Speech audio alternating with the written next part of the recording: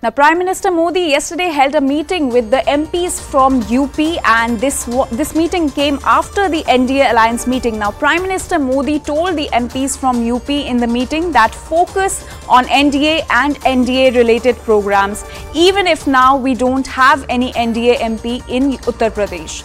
Apart from Ram Mandir and other issues, there are many such programs of government that need to be taken to people. So that this is what Prime Minister Modi told uh, the MPs from UP in yesterday's meeting that apart from Ram Mandir and other issues also, there are many such programs of government that need to be taken to the people.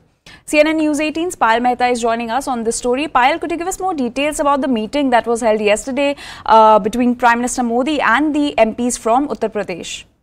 Well, in fact, the Prime Minister held two meetings yesterday, one with the MPs from uh, Western and Braj region of Uttar Pradesh, and the other meeting with the MPs from Bengal, and of course, uh, Jharkhand uh, and Odisha among the, uh, among the rest as well.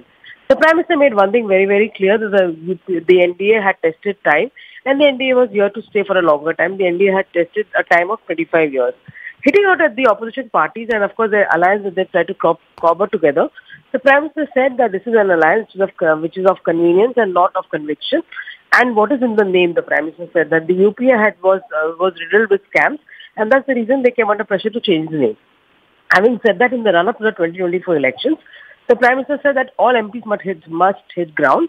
They must take the central government schemes uh, to the people, and even in places where they do not have NDA governments, they should talk about the achievements of the NDA governments and uh, also talk about the NDA schemes as well. So that's the line of thought that the Prime Minister is really taking forward as far as uh, the uh, NDA is concerned. Remember, these are the first two cluster meetings and the Prime Minister will have nine more such cluster meetings with various parts of the country.